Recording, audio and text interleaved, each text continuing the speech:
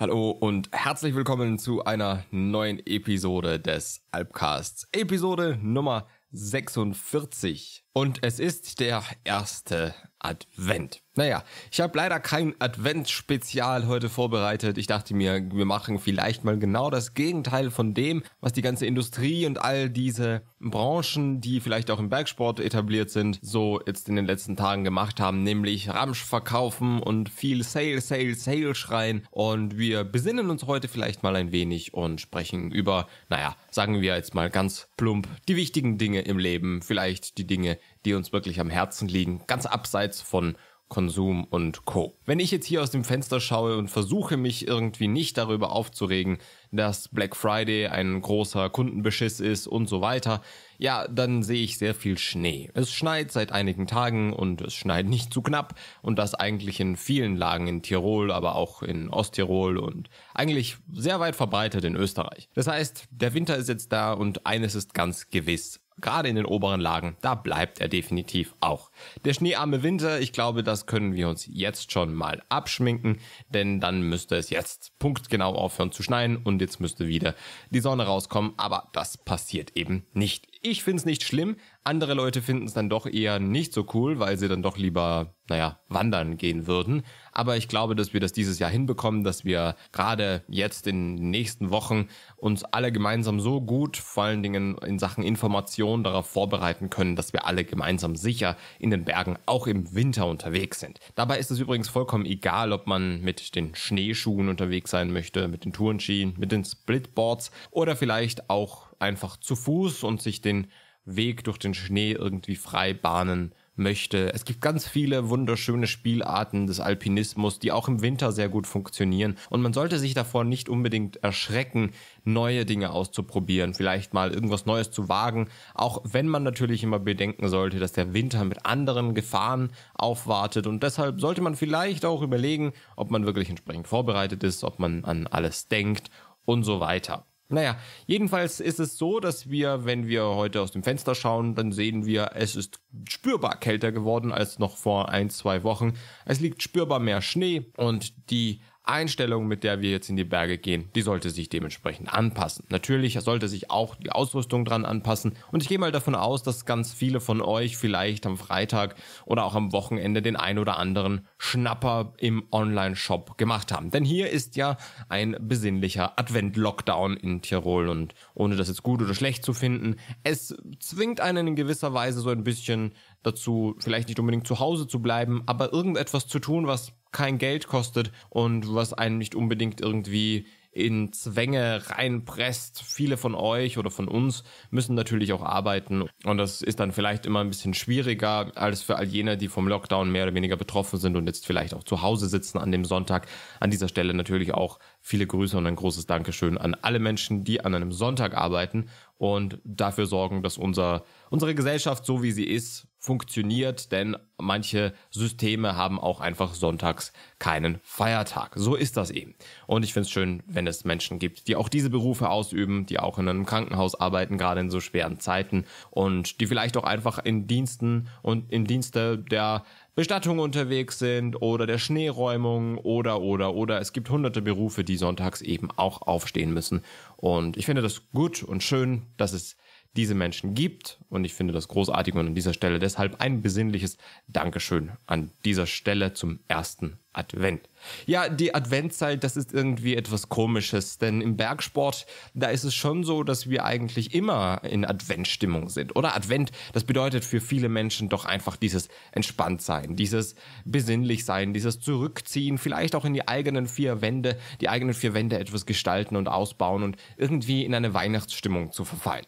Ja, in diesen Zeiten, da ist es doch eher schwierig geworden, sich so besinnlich zu verhalten und das gemütliche Gefühl wieder aufleben zu lassen, das man vielleicht in Jahren zuvor zu Weihnachten hatte. Ja, das kann ich mir schon gut vorstellen, dass das einfach nicht so leicht ist aufgrund der vielen Umstände. Aber gerade wir Bergsportler, wir sind da ja sehr privilegiert. Immer wenn wir in die Berge gehen, ist Adventzeit. Denn wir haben immer dieses Advent-Feeling, auch im Juli und August. Denn es ist eigentlich immer gemütlich, es ist besinnlich, es ist sehr sehr entschleunigend und all das ist ja eigentlich die, die, dieser Witz hinter dieser Adventzeit und deswegen sind wir, sind wir ja da richtig verwöhnt, dass wir das so haben können. Naja, aber in Wirklichkeit ist es dann doch irgendwie doch anders. Wenn wir jetzt zum Beispiel in Innsbruck, in der Nähe von Innsbruck, ins Axamalizum schauen und da gibt es das Hordel. Ja, das Hordel, das ist ein ganz, ganz besonderer Berg für die Einheimischen, aber auch für die Leute von etwas weiter weg, denn die gehen hier jetzt alle ihre ersten Skitouren. Das Axamalizum ist ganz besonders, denn es liegt sehr früh schon im Jahr Schnee, es ist hoch gelegen, man kommt sehr weit mit dem Auto nach oben und dann kann man auch nochmal 800 Höhenmeter bis zum Hordel eben zurücklegen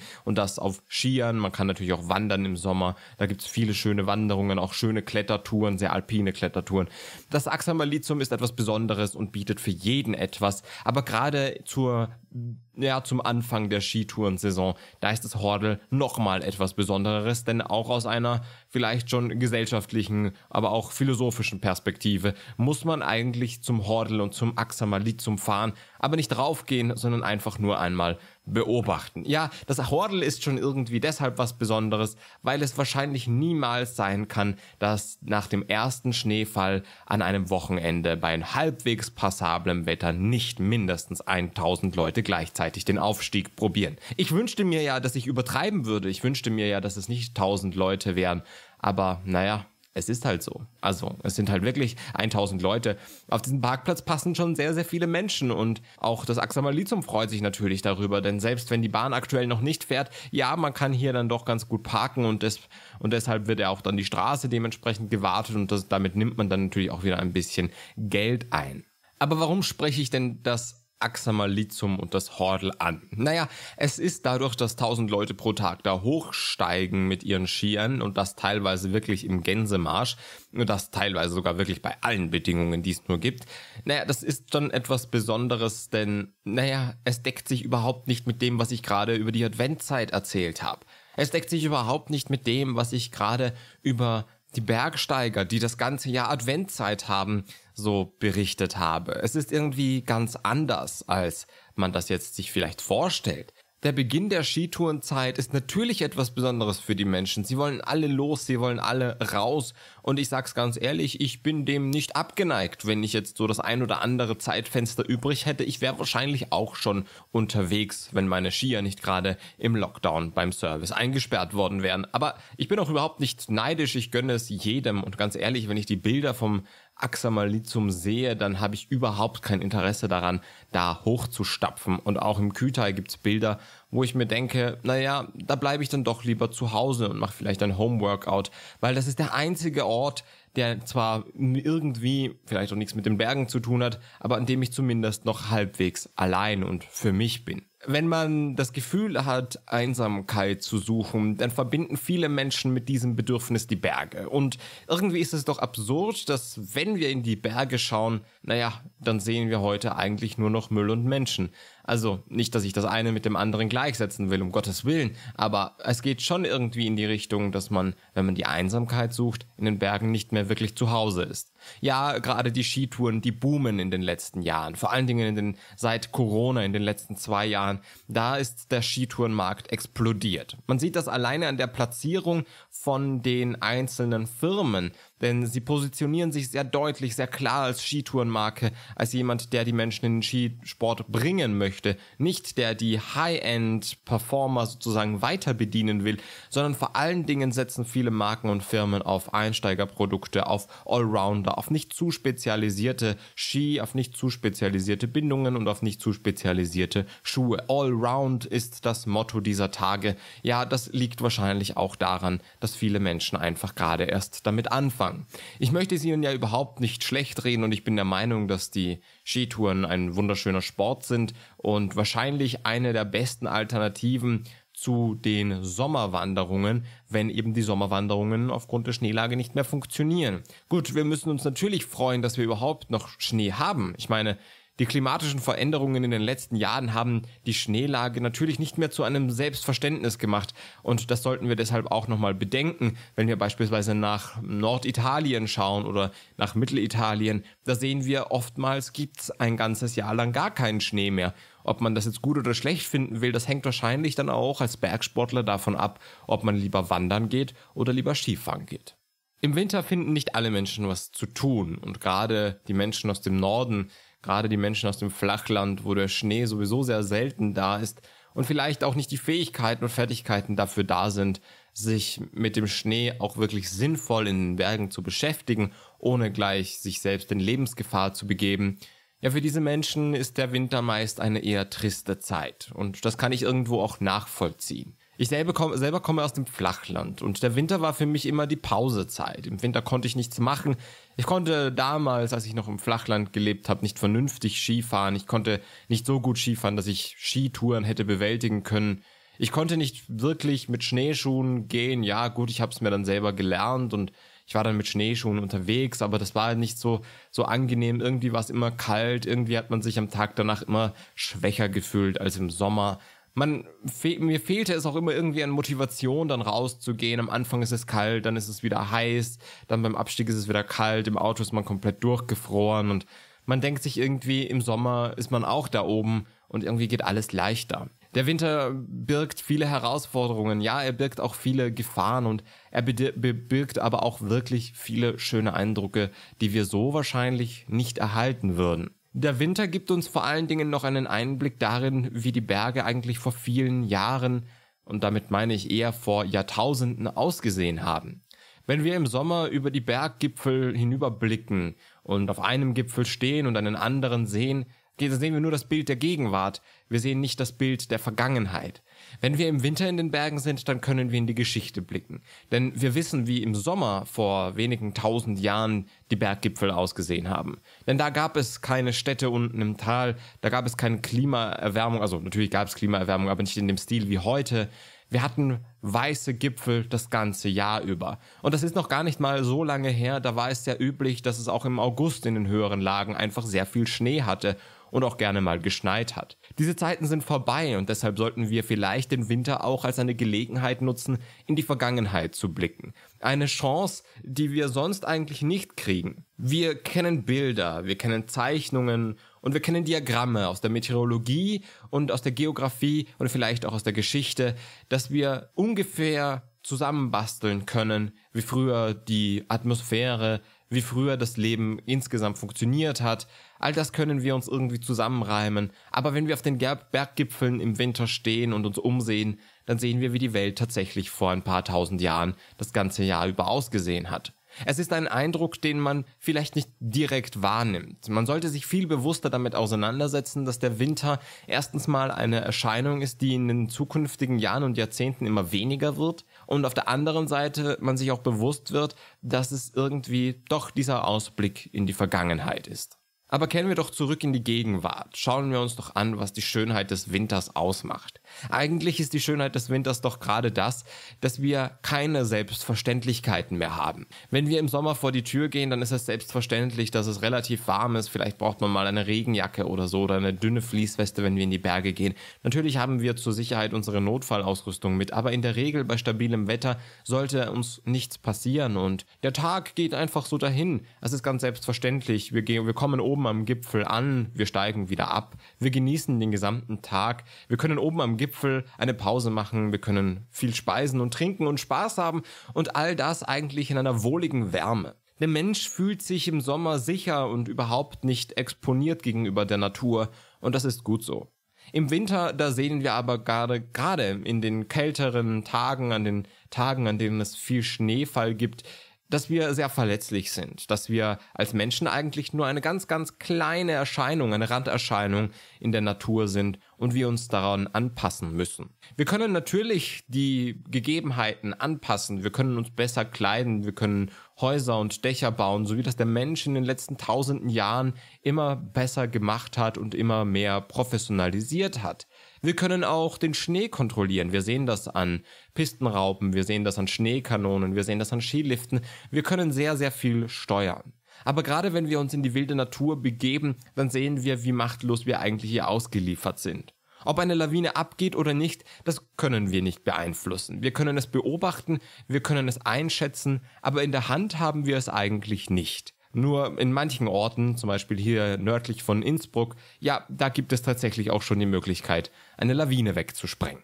Ja, Sicherheit geht vor und das wissen auch die Menschen, die Lawinensprengungen vornehmen und genau darum geht's ja im Prinzip auch nur. Aber es ist schon spannend zu sehen, wie weit wir Menschen eigentlich versuchen, uns die Sicherheit dann doch technisch irgendwie herzuleiten. Wir Menschen sind schon komisch. Wir haben eine Gesellschaft gebildet, in der wir immer in Sicherheit sind. Egal was wir tun, wir können uns immer auf irgendetwas oder irgendjemanden verlassen. Wir können uns verlassen, dass wenn wir uns heute wehtun, dass wir im Krankenhaus behandelt werden. Wir können uns darauf verlassen, dass wenn wir einen Autounfall haben, dass ein Polizist kommt und für uns den Sachverhalt klärt. Wir können uns darauf verlassen, dass wenn es nach diesem Unfall einen Streitfall gibt, ein Richter unabhängig darüber entscheiden wird, wer Recht und wer Unrecht hat. Wir können uns auf sehr viele Institutionen verlassen, wir können uns auf sehr viele Behörden verlassen, wir können uns auf Arbeitgeber, auf Arbeitnehmer, auf Kunden, auf Firmen verlassen. Wir können uns auf sehr, sehr viel in unserer Gesellschaft heute verlassen. Wir versuchen dieses sich auf etwas verlassen natürlich auch gerne abzugeben. Denn wir sind manchmal selbst nicht in der Lage, diese ganzen Mechanismen der Natur selbst gut einschätzen zu können. Da gibt es Menschen, die studieren das, die beschäftigen sich länger damit. Wenn ich heute ein Haus bauen würde, es würde wahrscheinlich in einer Woche wieder zusammenfallen. Denn dafür bin ich einfach nicht ausgebildet. Ganz anders ist das bei den Architekten und Bauingenieuren. Die wissen ganz genau, was sie tun. Deshalb bauen sie mein Haus. Aber so ist es in der Natur eben nicht. Wir alle sind der Natur gleichermaßen ausgeliefert. Es ist vollkommen egal, wer wir sind, ob wir Richter, Bauingenieur, Polizist oder einfach nur ein Bergsportler sind. Wir alle sind der Natur gleichermaßen ausgeliefert, wenn wir an Ort und Stelle stehen. Lediglich unser Wissen, unsere Information und vielleicht auch unsere Erfahrung können uns dabei helfen, die Situationen besser und schlechter einzuschätzen, Gefahren besser oder schlechter zu erkennen und Risiken abwägen zu können. All das ist vollkommen unabhängig von unserem gesellschaftlichen Status. Es hängt lediglich davon ab, wie viel Erfahrung wir haben und wie gern wir uns letztlich weiterbilden wollen. Das Schöne daran, und das ist auch der Grund, warum ich das erzähle oder nochmal klarstellen möchte, denn ich bin mir sicher, die meisten von euch wissen das ja unterbewusst, äh, ist vor allen Dingen, dass wir alle gleich sind in der Natur. Und das ist etwas Schönes, denn wir sind im Alltag immer sehr kontrolliert von Abhängigkeiten, weil immer wenn wir uns auf jemanden verlassen, dann sind wir auch gleichzeitig abhängig. Man könnte dieses ganze, ich verlasse mich auf den, ich verlasse mich auf das, auch sehr gut durch, ich bin davon abhängig, ich bin hiervon abhängig, ersetzen. Und wenn wir in der Natur sind, sind wir von nichts abhängig, außer von der Natur selbst. Und nachdem wir sie nicht vernünftig manipulieren können, müssen wir uns eben anpassen. Und das macht es zu etwas Besonderem. Das Besondere ist etwas, was wir schätzen müssen, denn es wird in den letzten Jahren und Jahrzehnten spürbar weniger. Die Selbstverständlichkeiten werden mehr und dadurch werden sie nicht mehr zu etwas Besonderem. Das ist ganz logisch. Aber gleichzeitig ist es dann schön, wenn man im Winter in der Natur steht, vielleicht auf einem Berg und sieht, wie ausgeliefert man eigentlich ist. Es ist ein Gefühl, das wir vielleicht nicht unbedingt haben wollen. Und ich verstehe jeden Menschen, der sagt, warum sollte ich mich der Wildnis und der Natur aussetzen? Aber ich persönlich kann sagen, ich mache das deshalb, weil ich nicht weiß, wie es sich anfühlt. Es gibt Zeiten, in denen ich einfach vergessen habe, wie es sich anfühlt, hilflos etwas ausgeliefert zu sein und jetzt nur noch vom Glück oder vielleicht auch einfach nur von meinen eigenen Erfahrungen abhängig zu sein. Das ist ein Gefühl, das wir Menschen einfach nicht mehr kennen und gerade wenn man es schon mal erlebt hat, ja, dann vergisst man es auch über die Zeit wieder. Es ist nicht schlimm zu sagen oder zu glauben, dass man das niemals wieder spüren möchte oder will, aber ich persönlich bin ein neugieriger Mensch. Ich kenne dieses Gefühl und ich weiß es zu schätzen, denn im restlichen Alltag kenne ich es eben nicht. Ich denke da gerne an einen großen Traum von mir. Ich denke daran, dass ich eines Tages gerne mal den Nanga Parbat besteigen würde, und zwar im Alpinstil. In meiner Vorstellung, da ist dieser Berg so unfassbar unberührt, da ist dieser Berg so unfassbar schwierig und so einsam und trotzdem auch so gefährlich. Vielleicht hängt das alles irgendwie miteinander zusammen, wahrscheinlich sogar. Aber gerade diese Vorstellung, die macht ihn für mich auch so interessant. Denn es ist etwas ganz was Natürliches. Es ist etwas, dem ich mich ausliefern muss, um es irgendwie zu bewältigen. Ich besiege hier nichts, denn der Berg, ja, der steht nach meiner Ankunft und nach meiner Besteigung immer noch genau da, wo er steht und die Bedingungen werden sich genauso wie immer je von Tag zu Tag eben ändern. Das heißt, ich besiege keinen Berg, ich erobere ihn auch nicht, sondern ich besuche ihn lediglich und ich bin voll und ganz darauf angewiesen, was der Berg und die Umstände, was die Atmosphäre in dieser Zeit dazu zu sagen hat. Ich glaube nicht daran, dass irgendjemand oder irgendetwas diese Vorgänge beeinflussen kann. Es geht hier nur um Glück oder Pech. Aber das Glück und das Pech, das ist etwas, das wir Menschen nicht mehr kennen. Es ist so wie mit diesen Selbstverständlichkeiten. Wenn wir uns dem Glück und dem Pech ausliefern oder aussetzen, dann bekommen wir vom naja, ich sage es mal jetzt unter Anführungszeichen, dem Schicksal ein sehr direktes Feedback, was das Leben und die Natur uns zu sagen hat. Natürlich können wir das alles auf die Spitze treiben. Ich könnte auch in Flipflops auf den Nanga Parbat durch die Rupal-Wand Free Solo steigen. Die Wahrscheinlichkeit, dass ich Glück habe, die sinkt natürlich mit dieser entsprechenden Vorbereitung. Aber darauf möchte ich gar nicht hinaus. Ich möchte lediglich darauf hinaus, dass wir Menschen es manchmal nicht mehr so gut können, uns einfach mal einer Gefahr auszusetzen. Nicht willkürlich und auch nicht wirklich so fahrlässig, sondern einfach nur zu wissen, was vor einem liegt und dann versuchen, es zu bewältigen. Ich habe in einer Podcast-Episode, und das ist jetzt vielleicht nicht die schönste und besinnlichste Thematik, auch schon mal über den Tod gesprochen. Und der Tod ist irgendwie Teil des Lebens und gerade für mich ist er immer schon Teil des Lebens gewesen und für mich ist eine Selbstverständlichkeit, dass er eines Tages kommen wird, um mich abzuholen. Ich glaube nicht, dass es so ist, dass festgeschrieben ist, wann ich zu gehen habe, aber ich möchte auf jeden Fall innerhalb dieser Zeitspanne, die ich hier auf der Erde habe, jedes Gefühl irgendwie, vor allen Dingen jene, die mir gut tun und die mir gefallen und die ich interessant fand, so oft wie möglich spüren. Und wenn das zutrifft, dass dieses, naja, diese Wildnis und diese Ausgesetztheit gegenüber der Natur eines dieser erstrebenswerten Ziele und Gefühle ist, dann ist es letztlich der Weg, den ich gehen möchte und sagen will, okay, wenn ich eine Skitour auf den Denali gehen will, dann ist das wahrscheinlich eine der wildesten und ausgesetztesten Touren im Winter, die man abseits des Himalayas überhaupt machen kann. Und gerade das macht es aber so reizvoll und gerade das macht es so spannend. Und ich glaube, dass jeder Mensch von uns, jeder hier, jeder Zuhörer irgendwie so einen Gedanken in sich hegt, mal etwas, nicht etwas Gefährliches zu tun, aber etwas zu tun, wo der Ausgang ungewiss ist. Etwas zu tun, wo wir Menschen selbst dafür verantwortlich sind, es zu kontrollieren, zumindest in dem Rahmen, in dem es möglich ist. Vielleicht auch etwas zu tun, wo wir eben nicht dieses Selbstverständnis immer haben, dass alles glatt laufen wird, dass sich schon irgendjemand drum kümmern wird, sondern vor allen Dingen die Aufgabe, dass wir einfach selbst die Dinge in die Hand nehmen müssen, um vielleicht überhaupt überleben zu können. Es geht nicht mehr um eine Mahnung, es geht nicht mehr um eine Rechnung, es geht nicht mehr um einen Termin, es geht ums Leben. Und da plötzlich wird es plötzlich, wird alles einfach auch so unwichtig. Alles abseits dessen wird so unwichtig. Und ich sage nicht, dass man, nur weil Adventzeit ist, sich jetzt lebensgefährlichen Situationen aussetzen sollte. Überhaupt nicht.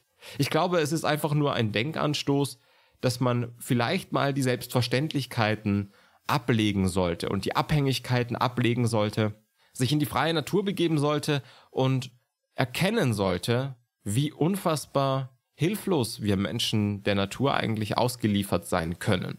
Dafür braucht es übrigens auch nicht viel. Dafür reicht es schon, wenn man sich lediglich in die Natur stellt und merkt, wie es spürbar kälter wird. Nicht im Sinne dessen, dass man eben mit den Flipflops in die Berge geht, sondern einfach nur merkt, dass wenn man sich jetzt nicht bewegen würde, dass es einfach kälter werden würde und unangenehm wird. All das zeigt einem schon, dass man irgendwie der Natur mehr oder weniger ausgeliefert ist. Menschen, die versuchen, alle, alle Bestandteile des Alpinismus zu kontrollieren, ja, die waren mir irgendwie immer schon ein bisschen zuwider. Nicht unbedingt verfeindet, ich sehe es nicht als, eine, als einen Problemfaktor, alles kontrollieren zu wollen. Ich frage mich nur oft, ob diese Menschen eigentlich einen ganzheitlichen Blick darauf haben, was auf der Welt so möglich ist. Vor allen Dingen, was als Mensch so möglich ist. Wenn wir Menschen anfangen, pistenartige Präparierungen vorzunehmen, um auf den Mount Everest zu steigen, ja, dann frage ich mich schon, ob diese Menschen eigentlich noch wissen, wie der Berg mal ausgesehen hat. Ganz ohne Leitern, ganz ohne Fixseile. Die Menschen, die diese Fixseile und Leitern dann verwenden und diese Spuren, die wissen gar nicht, wie dieser Berg überhaupt aussieht. Denn so wie sie ihn sehen und so wie sie ihn kennenlernen, so sieht dieser Berg nicht aus, wenn wir Menschen nicht existieren würden. Und die Wildnis mal als das zu betrachten, was sie wäre, wenn wir Menschen nicht wären, das ist ein spannendes Experiment, auf das man sich einlassen kann, aber natürlich keinesfalls muss. Es ist ein Gedankenexperiment, aber das Schöne in den Alpen ist, dass es nicht nur ein Gedankenexperiment bleiben muss. Man kann sich auch nur auf die Suche begeben nach Herausforderungen und Touren, die wirklich anspruchsvoll, wirklich spannend, aber auch vielleicht ein wenig gefährlich sind. Ich sage nicht, dass man sich in Lebensgefahr begeben muss. Ich sage nur, dass wir Menschen vielleicht ein wenig vergessen haben, wie sich Wildnis überhaupt anfühlt, wie sich unkontrollierbare Situationen überhaupt anfühlen, wie wir Menschen eigentlich dann darauf reagieren, wenn diese unkontrollierbaren Situationen oder diese nicht eindeutig sicheren Situationen vor uns stehen, wie wir Menschen dann reagieren, wie wir Menschen uns dann fühlen. Ich glaube, wir wissen das gar nicht. Vielleicht ist es auch nicht schlimm, dass wir das nicht wissen. Ich weiß es nicht. Ich kann es nicht beurteilen. Aber ich weiß, dass ich es gerne immer wieder suche, um zu erfahren, wie ich als Mensch eigentlich bin. Denn wenn wir in unseren kontrollierten Rahmen und in unserem Alltag leben, ja, dann fühlt man sich natürlich irgendwie immer sicher. Man kann seine Gefühle und seine Emotionen immer an das anpassen, was die Umstände gerade hergeben. Hat man einen guten Tag an der Arbeit, ja, dann fühlt man sich gut und dann ist man fröhlich. Hat man einen schlechten Tag gehabt, dann fühlt man sich nicht so gut. Aber das alles ist irgendwie abhängig von anderen Menschen, von einem selbst, von der Einstellung. Aber alles, was wir in der Natur empfinden, in Situationen, in denen wir wissen, dass es jetzt um alles geht und dass wir jetzt einfach keinen Scheiß bauen sollten, ja, da sehen wir dann eigentlich, wie wir Menschen wirklich sind. Denn wir Menschen, wir kommen nicht aus Arbeitnehmer- und Arbeitgeberverhältnissen. Wir Menschen kommen auch nicht aus irgendwelchen anderen sozialen Abhängigkeiten. Wir Menschen kommen eigentlich immer nur aus der Höhle, aus der wir uns einfach nur herausentwickelt haben. Wir Menschen haben uns zivilisiert und sozialisiert und dagegen ist überhaupt nichts einzuwenden. Aber wir haben auf dem Weg vielleicht eines Tages auch irgendwo dann die Wildnis und das Gefühl für die Natur verloren. Das alles muss nicht unbedingt schlecht sein, aber es ist eine Feststellung, die ich für mich gemacht habe und die ich persönlich für mich auch irgendwo schade finde. Deshalb möchte ich die Adventszeit dieses Jahr dafür nutzen, mich mehr dem auszusetzen, wovor ich nicht vielleicht unbedingt Angst habe, aber was mich auf jeden Fall wieder spüren lässt, dass ich ein Mensch bin, dass ich verletzlich bin und dass ich nicht immer weiß, ob alles gut geht.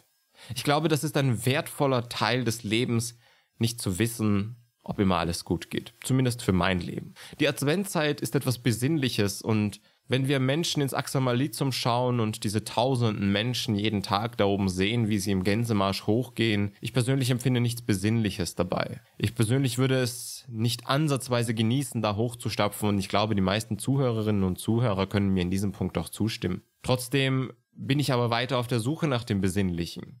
Trotzdem möchte ich den Schnee und die damit verbundenen Unsicherheiten und Dynamiken in der Natur irgendwie nutzen und genießen und entdecken können und all das werde ich auch tun, aber ganz sicher nicht im Axamalizum und ganz sicher auch nicht am Hordel. Jeder Mensch sollte natürlich in seinem Fähigkeitsspektrum bleiben und sich nicht einfach unnötigen Gefahren aussetzen, nur um zu wissen, was es bedeutet, in Gefahr zu sein. Wenn Menschen im Winter auf den Mount Everest zu steigen, ohne eine Ahnung davon zu haben, was sie tun, weil sie einfach nicht verstehen, was für Menschen eigentlich diese Versuche vorher schon gewagt haben, die viel erfahrenere Bergsteiger und Bergsteigerinnen waren wenn sie glauben, sie können den fünften Schritt nach dem ersten gehen, weil die drei Schritte dazwischen unnötig sind, weil die einfach nur Zeitverschwendung sind. Ja, das alles lässt mich nicht besinnlich zurück.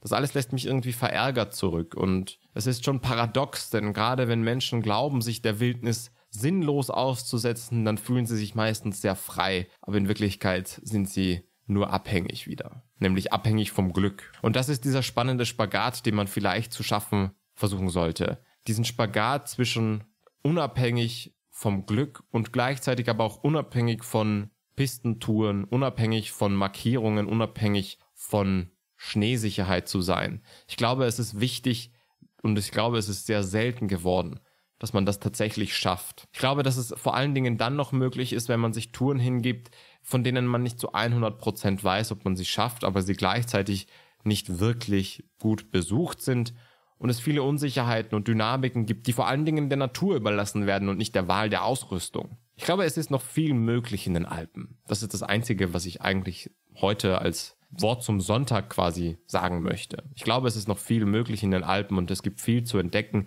und wir müssen uns nicht immer auf die Pistenskitouren am Axamalizum einlassen, wo tausend Menschen vor und hinter uns gehen und sich über die neuesten Klatsch- und Tratsch-Themen des Arbeitgebers auslassen. Nein, wir können sicher noch viel mehr aus den Alpen herausholen, auch in der Winterzeit. Wir müssen uns darauf einlassen, wir dürfen nicht zu viel Risiko eingehen, aber wir dürfen uns definitiv auch mal etwas trauen. Das zu sagen ist natürlich gefährlich, denn viele Leute würden mir jetzt vorwerfen, dass es wieder darum geht, dass die Menschen nicht unüberlegt in die Berge gehen sollten, nicht irgendwie wieder dumme Entscheidungen treffen sollen, nicht einfach im Winter auf die Zugspitze steigen sollten, obwohl sie keine Ahnung davon haben, was für Gefahren das mit sich bringt und so weiter. Ja, ich verstehe diese Ansätze schon, aber wir versuchen schon wieder den Menschen ihre Eigenverantwortung zu nehmen. Wir versuchen schon wieder den Menschen in dieser Stelle äh, ihre, ihre eigenen Entscheidungen abzusprechen. Und all das ist dann doch wieder genau das, was ich eben in einer Welt, in der man sich selbst nur der Natur aussetzen sollte oder kann,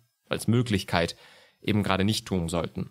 Kennen wir zurück zur Adventzeit und ich würde sagen, die Adventzeit sollten wir dafür nutzen, uns die Natur wieder ein bisschen näher zu bringen, die Natur wieder ein bisschen besser kennenzulernen und zwar in ihrer ursprünglichen Form und nicht einfach nur über die Skilifte, über Lawinensprengungen, über Skitouren, die eigentlich mehr schon einer Autobahn gleichen, sondern jeder findet für sich selbst jetzt einfach in der Adventzeit einen, einen Weg, wieder mit der Natur in Einklang zu kommen und die Natur so kennenzulernen, wie sie wirklich ist und nicht so, wie wir sie uns selbst über die letzten Jahre dahingestellt haben. Ich glaube, das ist eine schöne Hausaufgabe für die Adventzeit, es zumindest einmal zu schaffen, in die Berglandschaft zu fahren und sich vorher gut informiert und mit viel Erfahrung und mit dem richtigen Wissen und der richtigen Ausrüstung und der richtigen Technik in die Berge zu begeben, zu den entsprechenden Zeitpunkten und mal wieder zu spüren, was es heißt, eben nicht zu wissen, was um die nächste Ecke lauern könnte. Ich glaube, das ist eine wichtige Botschaft vor allen Dingen an mich selbst, was ich dieses Jahr in der Adventzeit erreichen möchte, aber vielleicht ist es auch ein kleiner Anreiz für euch. Ich wünsche euch eine wunderschöne Adventzeit, einen wunderschönen ersten Advent, einen wunderschönen Sonntagabend und wir hören uns spätestens nächste Woche am Sonntag wieder, dann am zweiten Advent und da habe ich dann schon wieder ein ganz neues, spannendes Thema für euch dabei. Bis zum nächsten Mal wünsche ich euch wie immer eine wunderschöne Zeit und Bergheil.